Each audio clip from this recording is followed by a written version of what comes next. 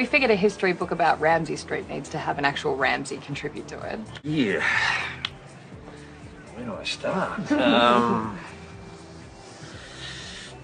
Des's infamous Bucks party? Hello? Is that Daphne? Yes? Hi, my name's Ramsey, Shane Ramsey. Yes, Mr. Ramsey? Uh, we're having a bucks party for a mate tonight. I was wondering if you'd be available.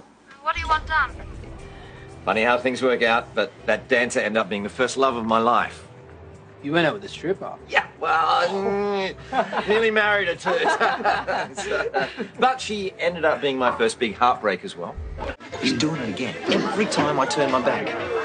Listen, when you're really in love, you can't just turn it on and off like a tap.